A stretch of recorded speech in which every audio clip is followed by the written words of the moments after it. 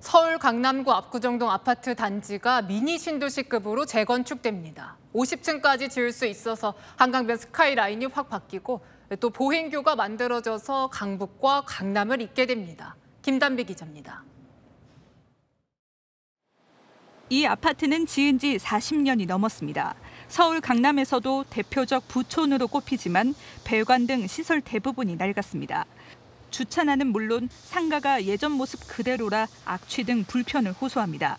건물 지은 지가 오래됐는데 얼마나 불편하겠어요. 서울시의 어떤 제한에 의거해서 지금까지 개발이 못 되고 있다 이거죠. 그런 부분은 상당히 재고돼야 되고 서울시가 압구정 일대 아파트를 통째로 개발합니다.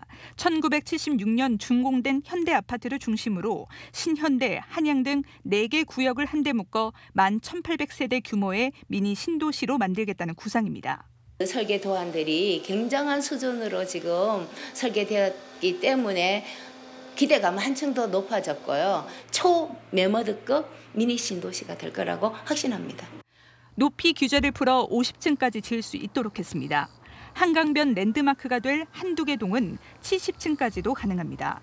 가장 큰 변화는 성수대교와 동호대교 사이 노을 다리입니다. 강을 사이에 두고 나뉘어 있는 서울 성수동과 압구정 사이에 잔디 보행로를 만들어 하나의 생활권으로 만들 계획입니다. 도보 또는 전동 킥보드를 타고 강남 상권과 강북의 녹지 공간을 쉽게 오갈 수 있습니다. 강북의 시민들도 여기 건너와서 산책로로 완전히 하고 그리고 여기 상권도 강북에서 넘어오면서 더 좋아지지 않을까. 재건축을 통해 들어서는 11,800세대 가운데 1,200세대는 공공주택으로 공급됩니다. 채널A 뉴스 김담비입니다.